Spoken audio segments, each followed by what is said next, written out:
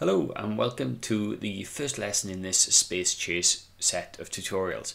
This is going to be over a few lessons and the idea is that we are going to look at the planning stage of this lesson first and then in subsequent lessons we are going to start uh, building our Space Chase game. Now the idea is quite simple.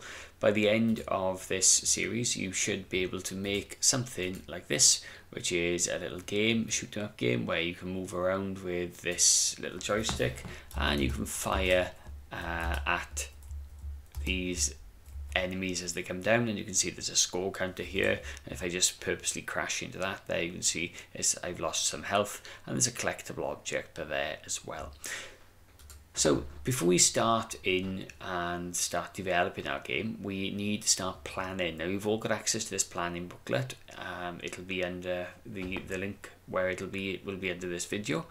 And if you need any other access, please let me know. So if we look at the first slide here, the planning section, we are basically going to be planning our characters, enemies and collectibles. So the first part is quite simple what we are going to have to do is design our player. Now if I just go back to my little design here, you can see the theme is space, so I've designed a little rocket here, and I need you to do the same. Now it doesn't have to be a rocket, it could be whatever you want, it could be a spaceship, it could be absolutely anything. Now you'll notice you've got 16 blocks by 16 blocks. Right, this is representative of what you'll get when you use MakeCode Arcade, and you can see 8 by 8 here is the middle block. Now if you want to start um, basically shading these in, what you do is you click in the table and then at the top here you'll see a table tab and what you'll also notice is that you have an option there for, for cell shading. So if I click on one of these as an example, I can click in it and then that will turn to a certain color.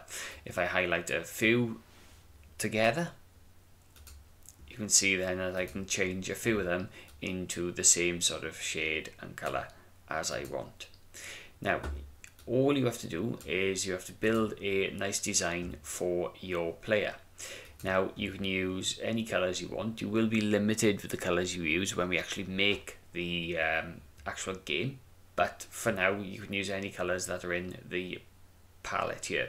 If you make a mistake and you think, actually, I don't want this color anymore, if you highlight these cells again and then click on cell shading and then just put it back to either white or no fill that will remove the color that you've put in there as well okay?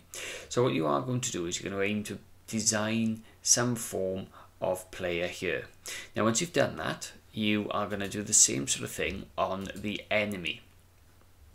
Now you'll notice there's two enemies here, enemy 1 and enemy 2, and ideally they need to be completely different. Now if I just go back here to my game, the idea with this game is that I'll have one enemy here, as you can see this one's moving towards me here, and I'll have another enemy there. Now the different enemies are worth different points because they'll move at different speeds. So for example, these normal enemies will be worth less points than that red one that you saw at the start of this game. Now you can design both your enemies here in this 16 by 16 block.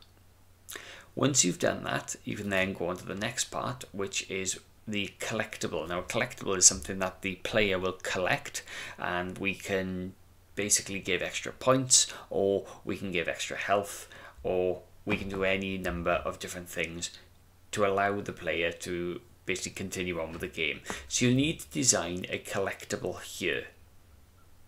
Once you've done that, there's one or two questions that I'm going to ask you to think about. And then that will be the majority of the first lesson done for you. And the planning then will be complete. Now you'll notice this booklet does have a few more pages in there.